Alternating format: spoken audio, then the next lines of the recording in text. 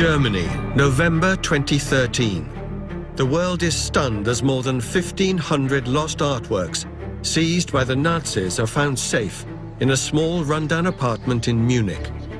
Valued at over a billion, and including works by Matisse, Picasso and Chagall, it had been assumed they were all destroyed in the carnage of the Second World War, a conflict that threatened to obliterate many of mankind's greatest artistic achievements.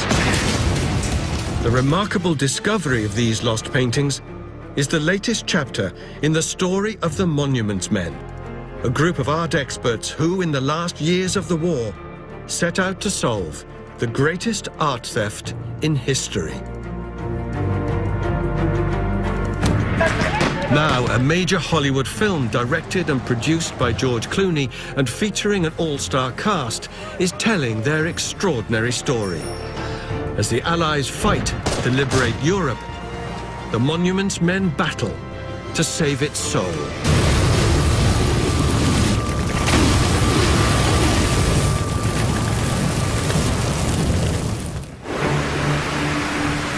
Omaha Beach, July 1944. It's a month since the first shot of D-Day. And while the Allied battlefront pushes inland towards the German borders, behind the front line is former art conservator at the Fogg Museum in Cambridge, Massachusetts, now Lieutenant George Leslie Stout. George Stout was very keen on the idea of doing everything he could to, to make sure that there was something left when this war was over. The 47-year-old has been handed a unique opportunity. He's an officer in a newly formed unit with very special orders. The Monuments Fine Arts and Archive section, or as it was referred to oftentimes MFA&A, was a group of museum directors, curators, art historians, artists themselves who volunteered for service during World War II to be a new kind of soldier, one charged with saving rather than destroying. These are people who are curators of museums and you know, art historians, people who are well past their prime, not exactly the people you would pick for soldiering. The common bond is their expertise or their, their love of, of art in all its forms. And their understanding for the need of spiritual nourishment that comes through art. Stout and other monuments men are charged with the responsibility of saving Europe's culture, a mission enshrined in an historic order from Allied Supreme Commander General Eisenhower.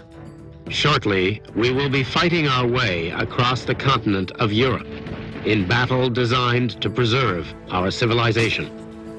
Inevitably, in the path of our advance, will be found historical monuments and cultural centers which symbolize to the world all that we are fighting to preserve. It is the responsibility of every commander to protect and respect these symbols whenever possible. General Eisenhower's order says quite clearly that cultural treasures, national icons, the treasures of, of Western civilization, that they must be protected and preserved if at all possible. So this isn't merely a war for the winning of battles. This is a war for the very survival of humanity. The size of the task facing Stout and his monuments men is unprecedented. For the last five years, Hitler has been waging war not just on the people of Europe, but on their art and cultural heritage too. In Hitler's quest to build a thousand-year Reich, it was important to eliminate completely the cultures of inferior, lesser races. It isn't just a question of defeating and occupying but it's a war of annihilation, a war of elimination. Art, national treasures, culture, heritage all prey victim to support the much larger objective of Hitler's view of the world. Treasures would be taken, monuments would be dismantled, whole cities would be destroyed. Hitler's assault on Europe's cultural treasures begins as soon as he rises to power in the 1930s. He uses art as a political tool to promote and protect Nazi ideals. Part of Hitler's vision for the Thousand Year Reich was that Germany would dominate the world culturally. One way they were going to do this was through the construction of a vast cultural complex in Hitler's hometown of Linz, Austria. Hitler's vision, reproduced in a scale model, will turn the industrial Danube riverfront into a purpose-built city dedicated to the glory of Aryan supremacy. At its heart would be an enormous museum that would house every important work of art in the world. Hitler's Führer Museum is to showcase the very best of Germanic art and celebrate the Aryan ideals of the Nazis. Its 30 miles of galleries will house all of Europe's greatest masterpieces, works by artists approved of by the Nazis. But Hitler condemns modernist, abstract and cubist art as degenerate, along with all works by Jewish and Slavic artists. He orders them to be sold or destroyed. They burnt Picassos, they burnt Salvador Dali's, they burnt Klee's in the, in the yard. They just pulled them out and burned them. By publicly burning works of art, you can see a very disturbing parallel with the way they approached people. The Nazis were burning paintings in the same way that they would later be burning bodies of people they wanted to eliminate from society.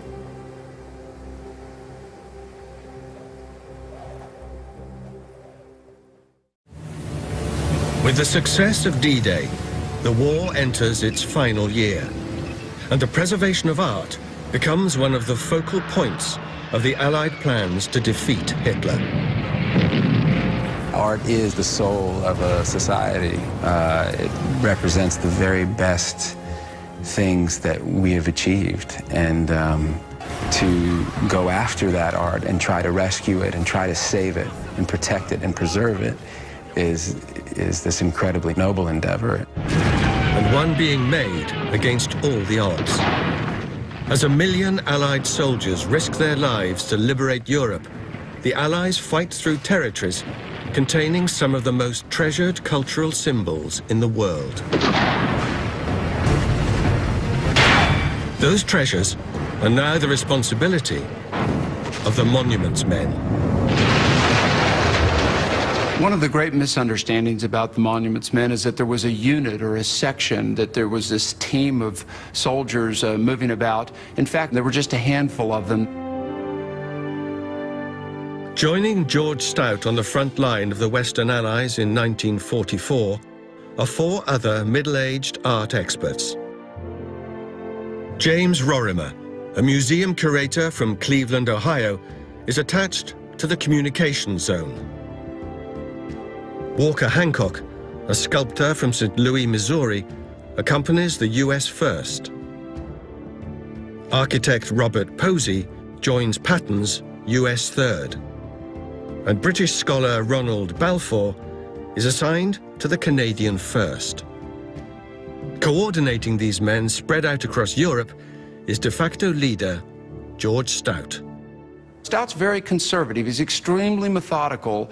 He's an unexcitable character, very steady, and this proves to be of great importance to the monuments officers as they get in the field and find themselves in combat.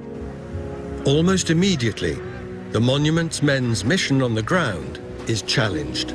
They believe in their mission. They believe it's a great idea. But there's a great deal of skepticism that Army commanders are ever going to listen to a bunch of art historians, artists, professors in uniform telling them what to do. Colonel, if you would just read the orders. I'll tell you what these orders say. Don't knock out Colonel, old building. Do not interrupt me, Lieutenant. Superior officers, half their age, are in a position of trying to understand why in the world is this elderly guy in front of me telling me I can't aim at this church or aim at some structure when I know that there's German snipers or the enemy inside of it. At the historic city of Saint-Lô, Normandy, the monuments men witness firsthand the shocking destruction of war. To force a breakthrough, the Allies reduce the city to rubble. To try to preserve or protect a building, a piece of art, when the stakes are so high, it highlights all the more the challenge that the monuments men faced. It's a conundrum.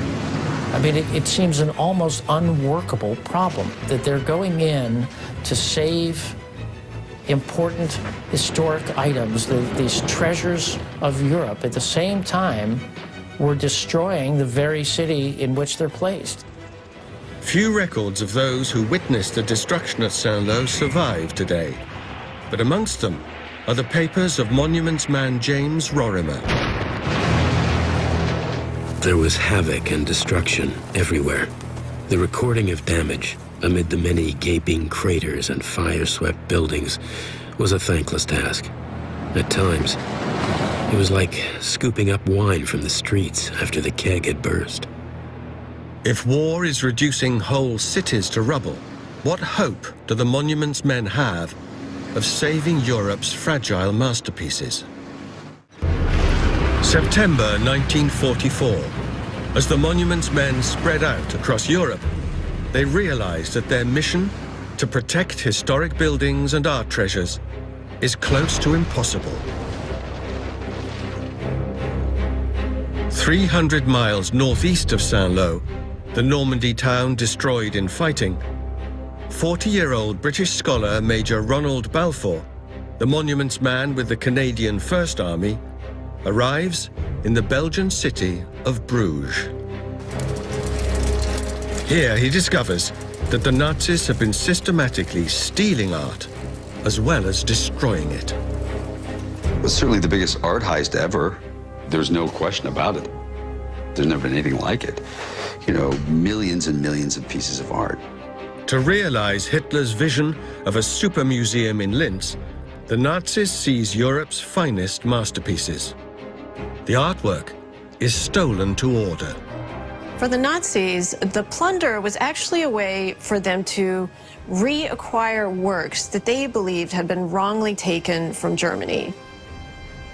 Hitler had curators that compiled for him a catalog of works of art that had been created by German artists or artisans or had been taken from Germany. Hitler would flip through these catalogs like mail order catalogs, selecting works of art. Top of Hitler's wish list are two priceless works of art in Belgium, the area assigned to monuments man Balfour. The first is the Ghent altar, a 15th century Renaissance masterpiece by the brothers van Eyck. The Ghent altarpiece is one of the premier pieces of art ever stolen.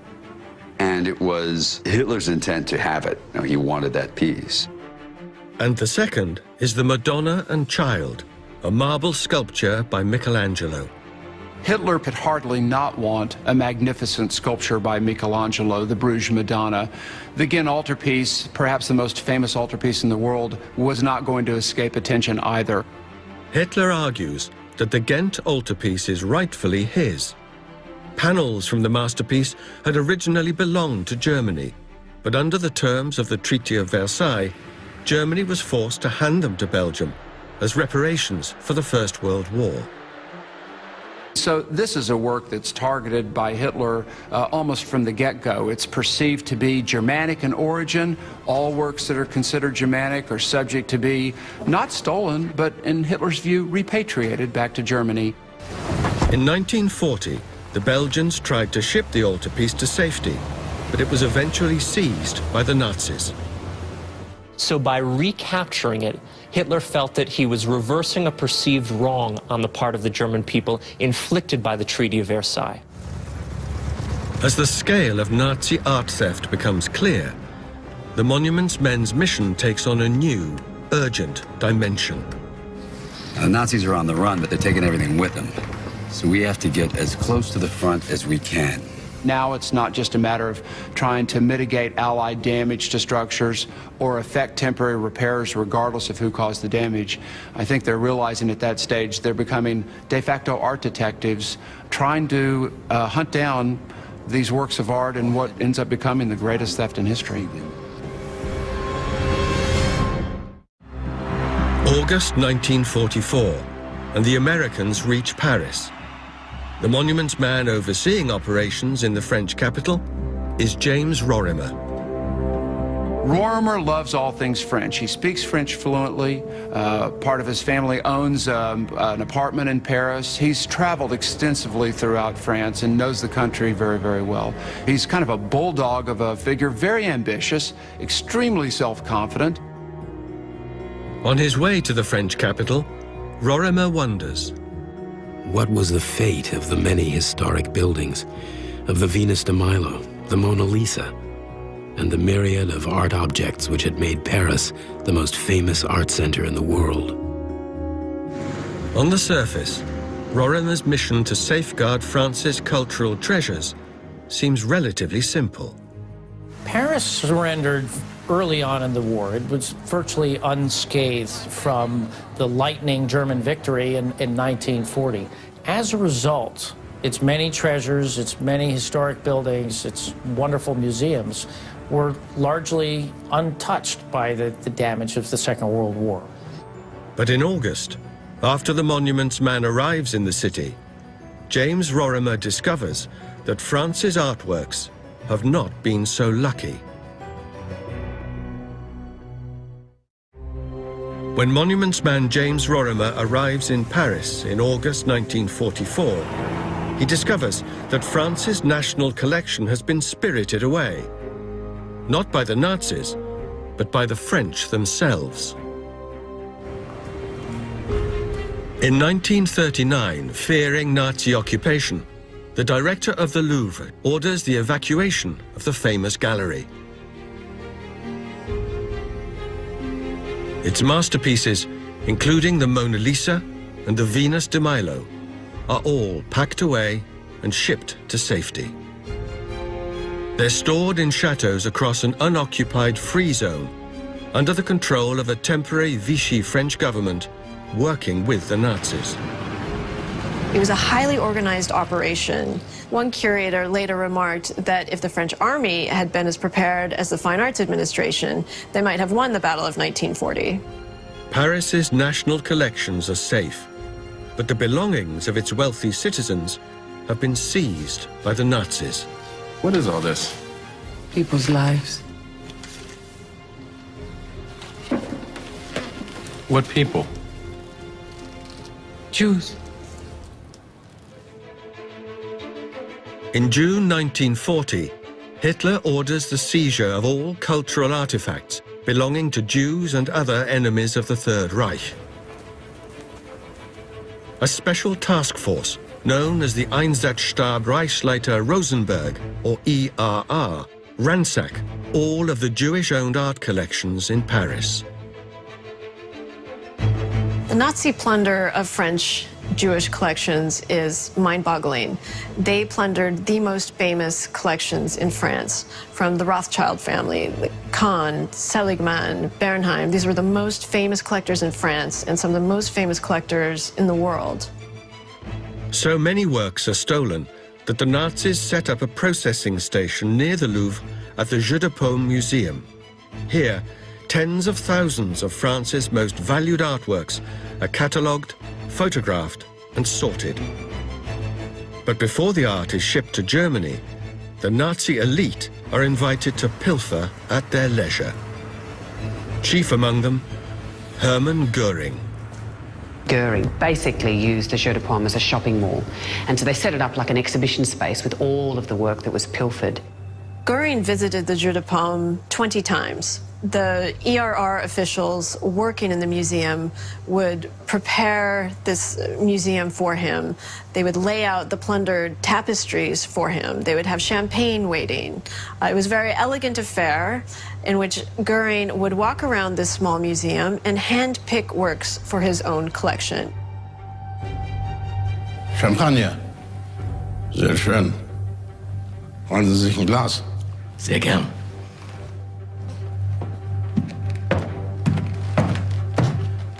We need another champagne glass.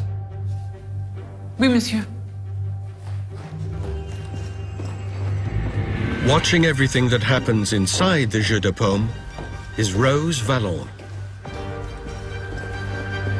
A volunteer at the museum before the war, she stays on to secretly gather information on the looting operation for the French resistance. Rose Valland, in the middle of all this activity, is making lists of the works that are coming in. They thought she was simply monitoring things around the museum like heat and electricity and making their jobs easier.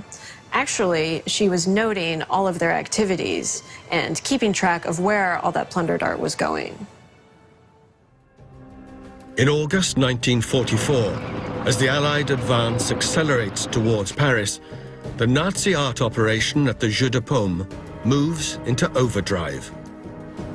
In the space of a few weeks, more than 20,000 pieces of art seized from Jews by the Nazis are shipped out of the museum and deep into Germany.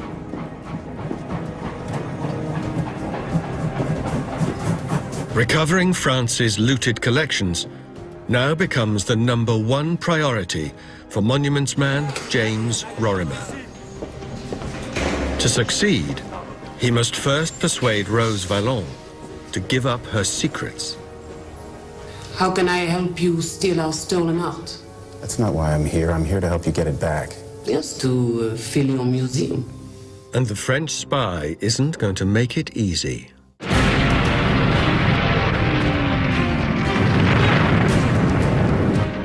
In October 1944, monuments men attached to the Western Allies reach Germany's western border. The city of Aachen stands as the first major German city to be vulnerable to capture by the Allies. For the monuments men, Aachen, the historic capital of Charlemagne, the German emperor of the First Reich, is a city that must be protected. Hitler recognized the importance of this. This was a, a city rich in symbolism, this is why Hitler declares Aachen as a fortress city. It must be defended to the last man, the last woman, the last child. The battle for Aachen confirms the monument's men's worst fears. Protecting Europe's cultural heritage from the ravages of war is beyond them.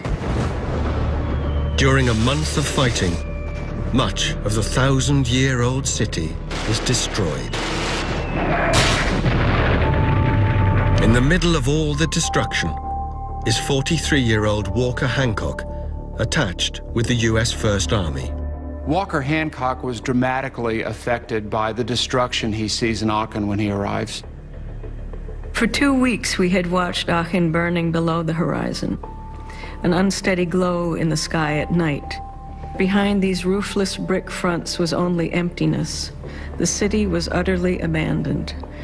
I realized at once what I later so often found to be true that a skeleton city is more terrible than one that the bombs have completely flattened. Aachen was a skeleton.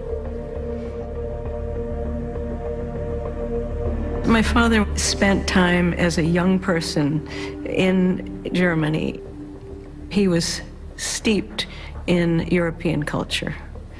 He was extremely open to doing anything he could to preserve whatever little piece of civilization he could. Amidst the ruins of Aachen, Walker Hancock discovers a clue to the whereabouts of the city's treasures. In the basement of a museum, he finds a catalogue. It lists all of the city's most important pieces of art, and alongside each of the entries, a place name. So many times when the monuments men would get a clue, uh, that's all it was. It was a name, it was a place, but they'd be looking at each other wondering, you know, is that a name or is it a place? What is it that we've found? Walker Hancock has uncovered his first major lead. Aachen's looted treasures have been taken deep inside Nazi Germany to a place called Siegen. But getting there is going to be tough. In December 1944, the Allied advance into Germany and the progress of its monuments men is halted when Hitler launches a massive counterattack in the west. As Allied reinforcements flood to the Battle of the Bulge, new recruits join the ranks of the monuments men I found myself on my 19th birthday on a truck to go up front to fight in the Battle of the Bulge. And I got pulled out. Harry Ettlinger, a German Jew, had fled Germany in 1938. Somebody came to me and he said, I understand you knew how to speak and write German. And yeah, that was my entry into the Monuments Men. Another new recruit is Lincoln Kirstein, a man the army has difficulty accepting. Lincoln Kirstein was a Jewish, bisexual, New York intellectual who was very much out of his depths in Nazi vanquished Europe. The monuments officers that are already overseas are uh, clamoring to have Kirstein because Kirstein, in their view, is basically a human Google. He knows something about everything. George Stout recognizes talent when he sees it and pairs his newest recruit with an old hand. Looks like we're going to be together, buddy. Robert Posey was someone who was very likable. He was a member of the armed forces, unlike most of the Monuments men. I think they made a good pair because they played off of each other well. Kirstein would not have known what to do in the field uh, surrounded by soldiers the way Posey did. But Posey, on the other hand, had an appreciation for the arts, but not a deep intellectual understanding of them. And they complemented each other to create the perfect combination.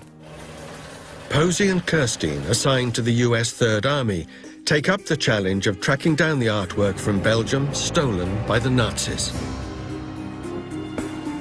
Top of their list is the famous Ghent altarpiece and Bruges Madonna.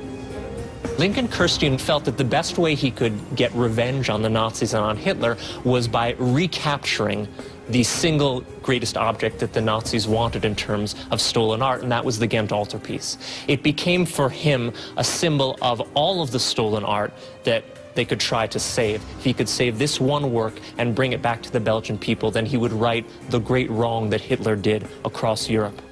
Finding these priceless artworks is now their greatest challenge. In the last months of the war, the location of the hidden Nazi art depots containing Europe's treasures is still a mystery.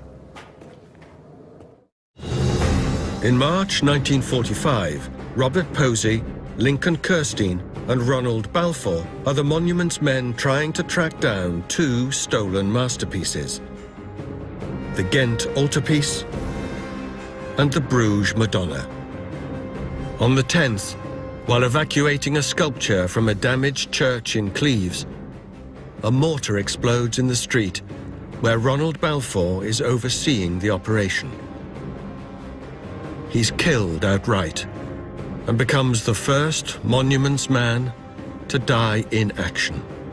The death of Ron Balfour has all sorts of reverberations for the Monuments men. I think it reminded everybody of the mortality of what they were faced with, but it also gave poignant uh, attention to this question, is art worth a life?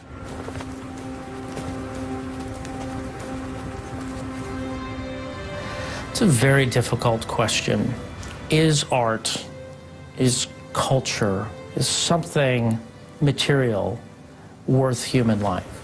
In the individual case, I would almost say without hesitation, no.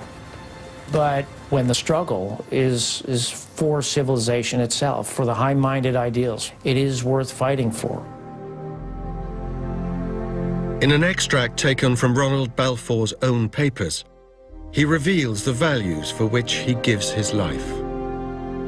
Every civilization is formed not merely by its own achievements, but by what it has inherited from the past. If these things are destroyed, we have lost a part of our past, and we shall be the poorer for it. With news of Balfour's death, the Monuments men redouble their efforts to preserve Europe's culture. You'll see to it that his family gets these. We will. Thank you.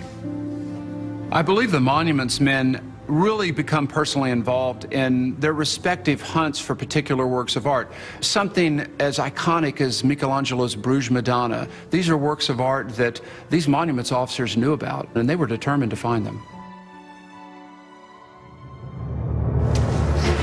In Paris, Monuments man James Rorimer is endeavouring to recover the tens of thousands of artworks looted from France's wealthy Jews. Months into his investigations, Rose Valland, the French spy working for the resistance inside the Jeu de Paume, is yet to tell him everything she knows.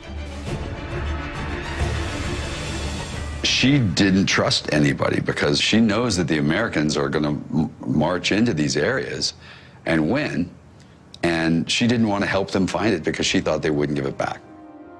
But Valland's fears are about to be overtaken by wider events. In March 1945, with the war clearly lost, Hitler issues his Nero-Befehl, his Nero decree. Hitler's Nero decree specified that nothing of value would be left to fall into Allied hands. When the Allies were on German territory, anything and everything that could be of use to them or to the civilian population that remained behind would be destroyed. Hitler said, burn it. Hitler said, burn it all. If I'm dead, destroy it. The issuance of the Nero decree, in essence, creates a race against time. At this stage now, uh, Allied forces are on the move into Germany, trying to find where these works of art are. Uh, the great concern being that um, they may be destroyed.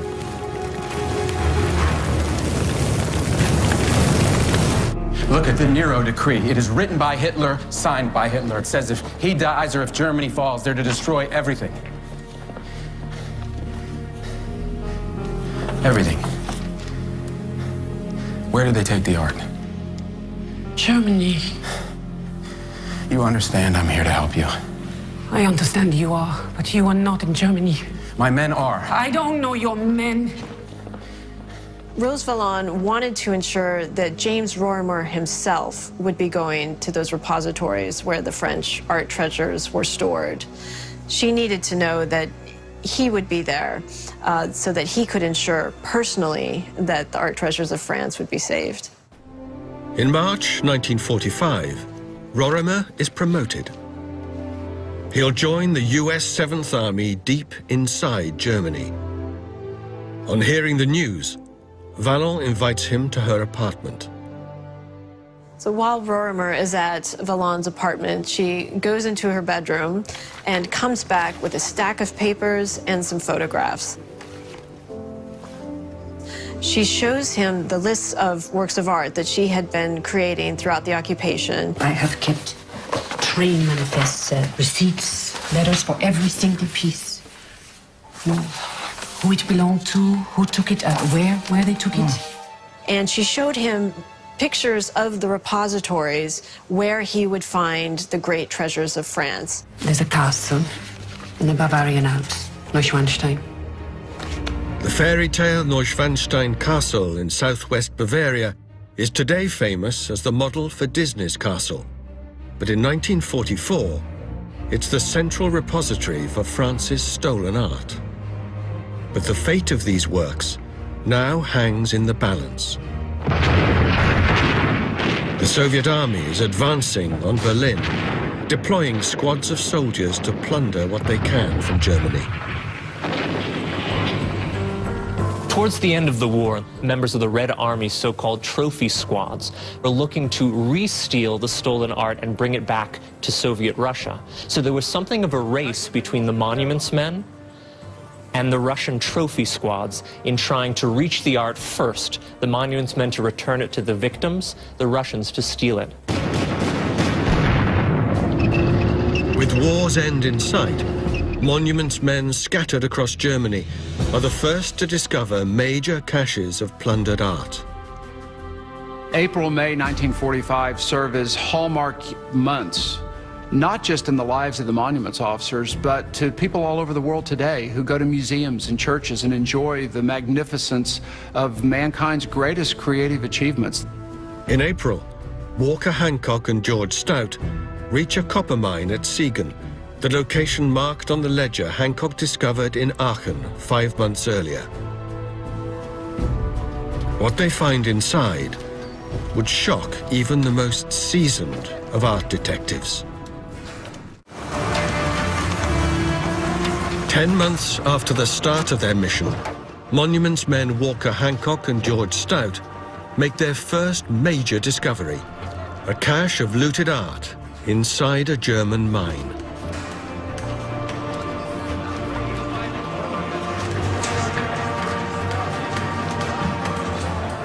These mines were huge chambers, 60 feet wide, 40 feet high, and a mile long, 700 feet below the surface, in which they kept the boxes for the museums, the libraries, and the personal belongings. This discovery at Siegen is quickly followed by another. At Merkers, 125 miles to the east, Monuments men Robert Posey and Lincoln Kirstein discover a repository containing art from more than a dozen German state museums.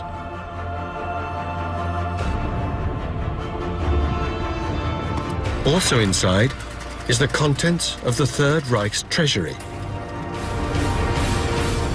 Over 8,000 bars of gold bullion, thousands of bags of gold and silver coins, and crates of currency worth $37 billion today. The discovery of stolen art and treasure at the Merkers mine was really eye-opening. It was the tip of the iceberg in terms of what the Nazis had stolen, but the scale of it was absolutely tremendous. By the start of May 1945, Hitler is dead. His suicide and the fall of Berlin means the war is over. But the Monuments Men have unfinished business. In the south, James Rorimer, attached to the US 7th Army, arrives at Neuschwanstein Castle. Inside, just as Rose Valland had insisted he would, Rorimer discovers 20,000 pieces of art, furniture and jewelry stolen from France's Jewish families. There were all kinds of art and furniture and high, high quality things like that. Every room was filled with boxes and crates, some of which were never touched. Racks and platforms held boxes of paintings. Others were simply jammed onto shelves. Some rooms held nothing but gold. Throughout the spring of 1945, the Monuments Men recover major collections across Germany. Tens of thousands of masterpieces are saved, but countless others are still missing. The Bruges Madonna, along with the Ghent altarpiece, became the bifocal of the Allied investigation of looted art. These were the number one and number two objects that they sought to try to recapture because they were the two most famous objects that the Nazis had stolen. Not for the first time in the work of the Monuments Men, luck plays a big part in the discovery of stolen treasures. The salvation of Europe's greatest artworks is all down really to a fortuitous toothache. Robert Posey has an impacted tooth, and to treat it, he visits a dentist in the German town of Trier. The dentist was chatting with Kirstein while he was working on Posey, and he asked, well, what do you do with the Allied army? And they said, well, we're trying to protect works of art. And he said, ah, you should meet my son-in-law. He's also an art historian. He lives a few miles from here. He may be able to help you. Huh? Is he a soldier? Uh, he was a soldier, like you. Robert Posey and Lincoln Kirstein have by chance found themselves in the hideout of SS officer Hermann Bunjes. Helga, wir haben Gäste. The former art advisor to Hermann Goering. Here was this SS soldier. He was a trained killer, but he was in hiding, not from the Allies, but from the German people, because the SS were so feared by the Germans that he was in greater danger of their vigilante justice than he was of being arrested by the Allied soldiers. Hoping that the Monuments men might offer him protection for information, Bunjes pours out all he knows about the Nazi art looting operation at the Jeu de Paume in Paris. And the most important thing that he mentioned and pointed to on a map was a salt mine that had been converted to a secret stolen art depot in the mountains of Austria at a place called Altaussee. On May the 12th, 1945, an American infantry unit approaches the site of the reported art depot at Altaussee. Inside the mountain, Monuments men Kirstein and Posey discover crate after crate of stolen art. We came into a very large and high rock-vaulted cavern. Here, lying on its side, cushioned on an old brown and white striped mattress and covered with pieces of asphalt paper, was the Michelangelo from Bruges. And in another chamber, finally, the Ghent altarpiece. Its 500-year-old panels propped up against the wall. Inside this one repository, the monuments men recover 6,755 paintings, 137 pieces of sculpture, historical artifacts, and much, much more. The monuments officers then are faced with a, an epic problem. What do you do when you find salt mines filled with sculpture by Michelangelo, paintings by Leonardo da Vinci and Jan van Eyck, Rembrandt, and others, uh, by the thousands? With the war over, the monuments men lead a massive peacetime operation to repatriate Europe's rescued art. In central collection points, recovered artworks from over a thousand Nazi repositories are catalogued. We had the concept and the ability and the workforce to give it back whenever possible. We believed in what we were doing was the right thing to do. In total, nearly 350 monuments men and women from 13 nations worked tirelessly to return Europe's stolen art to its rightful owners. By 1951, when the last collecting point closed, this tiny organization had facilitated the return of 5 million objects, stolen and at risk of destruction by the Nazis. The victory of the Allies in World War II was a remarkable achievement of arms and of industry. But without the monuments men, without the deliberate preservation of these priceless treasures, these all important symbols of the best of Western civilization, I think that victory would have been less than it actually was. They preserved the absolute best of what the West was fighting for. Of the handful of monuments men who began work in Europe in July 1944, two were killed in action. For his work as a monuments man, James Rorimer was awarded the Bronze Star and the French Legion of Honor. Rose Valland also received the Legion of Honor.